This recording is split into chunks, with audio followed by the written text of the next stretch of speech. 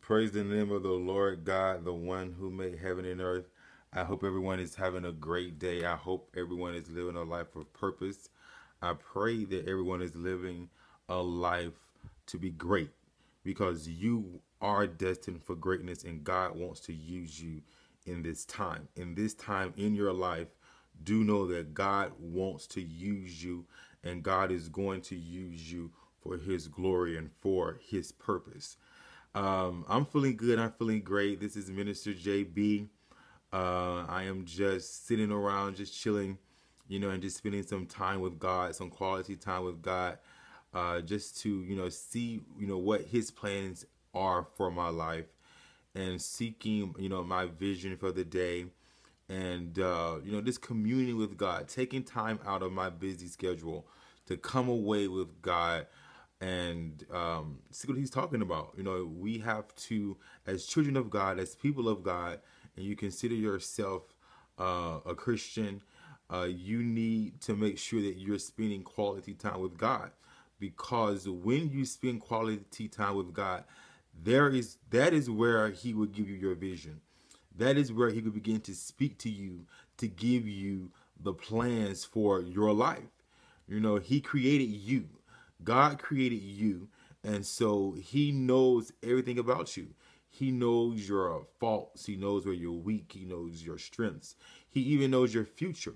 And so, therefore, if you want to know your future and you want to know your purpose, why not communicate with the one who created you? You know, God created you, and so He knows the path that you should take and the path that you are supposed to be on. And so if you want to get on the right path, and you want to get on the right track in life and you're questioning where I should go, God, what's my next business venture? What's my next project? What's my next creative creative idea? What do I need to do? You need to commune with God and get a plan and get the plan for your life and not only get the plan but execute the plan. All right. So execute the plan because faith without works is dead. And so therefore you can't expect, oh, a lot of people talk about, oh, I'm waiting on God to send me a check in the mail. Oh, I'm waiting on a check to fall from the sky. And you waiting on God, but what are you doing to get that check in the mail? Are you out you know selling your your your invention are you out selling your book if you're an author are you out selling your mixtapes if you are in entertainment with rap r&b gospel whatever you have to be doing something to get something. Come on now. You got to be doing something to get something. And so i don't want to preach but the lord just wanted me to come online to let you and you you and you and you and you know that sometimes you just need to praise god. You need to get out of yourself. You need to get out of the flesh and you need to give God praise. You know, and I'm gonna just keep it real. Sometimes it's hard to give God praise. Sometimes your body is under so much attack, you're under so much weight, you're going through this, you're going through that. It's really hard to give God praise. You have to work yourself up to give God praise because the devil don't want you to praise God. The enemy doesn't want you to give God the glory. The enemy doesn't want you to praise God when you don't see your way out. The enemy don't want you to praise God when God hasn't healed your body. The enemy doesn't want you to praise God when the bills are due. The enemy doesn't want you to praise God when your car payments due. The enemy doesn't want you to give God praise when you're going through. But the word of the Lord for you today is Praise the Lord anyhow, no matter what situation you're in, no matter if you can't pay the bills, no matter if you can't pay your rent, praise God. Praise God for life. Praise God for health. And most of all, praise God for strength because daily God is strengthening you and I. And so, as we are moving forward in life and we're moving forward, you know, following God, being obedient to God and doing what he say do, praise God. Give God a shout. Hallelujah. Give God a shout. Glory to God. Give God a shout. I give you praise. I worship you for who you are. You are the King of Kings. You are the Lord of Lords. And there is no one like you. God, I come to you empty. I come to you, God, with nothing, God. Fill me up with all of you, more of you, and less of me. Those are some of the words and some of the things that you have to say when you come to God. Come to God in humility, but in the midst of your trial, in the midst of your circumstance, praise ye the Lord. Hallelujah. Glory to God.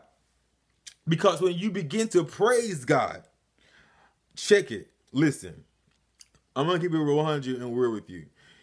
When you begin to praise God outside of yourself, outside of your feelings, where I don't feel like it, where I don't feel good, where I don't feel it, I got a headache, my head hurt, I don't feel like praising God. When those those are the words that that substitutes the flesh. I, me, I, me. Those are fleshly words. And so therefore God does not deal in the flesh. He does not deal in the eyes and the me's. So when you come out of the eye, when you come out of the me and you come out of the flesh and you begin to praise God with your whole heart outside of how you feel, meaning if your feet hurt, praise God. If your legs hurt, praise God. If your head hurt, praise God. When you begin to praise God like this, you will begin to see an instant change. You will begin to feel things break off of your life. You will begin to see your body get healed. You will begin to see your mind get regulated. You will begin to feel the pressures and the weight of this world fall off of you when you praise God. Come on now. Come on. Come on, church. Come on now. This is elementary stuff now. You got to praise God outside of yourself. Hallelujah. And so, as you are praising God, because the way God works is, let me just break that down for you. God says that the way He works is those who worship God must worship Him, come to Him, reverence Him in spirit and in truth. In spirit and in truth. Our body is a three part body. We are soul, we are spirit, and, and we are flesh. And so, therefore, we have to come out of the flesh, which is the eyes and the bees, and get to God through our spirit man, through Jesus Christ. So, praise God when you don't feel it. Praise God when you don't see it. Because in the midst, oh, I feel God right now. God, I thank you. God, I thank you for touching the people that's watching this video now.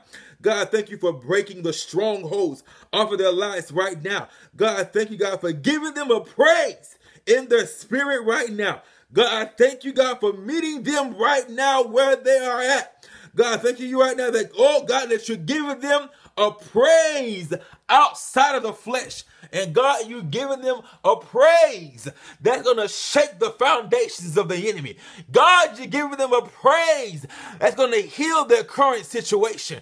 God, you're giving them a praise that's going to bring them out of their current environment into a new environment. God, you're giving them a praise outside of the flesh, but a praise in the spirit. Oh, God, I thank you right now that you're giving us a praise, an eternal praise. So praise God, praise God, praise God, praise the Lord, praise the name of Jesus.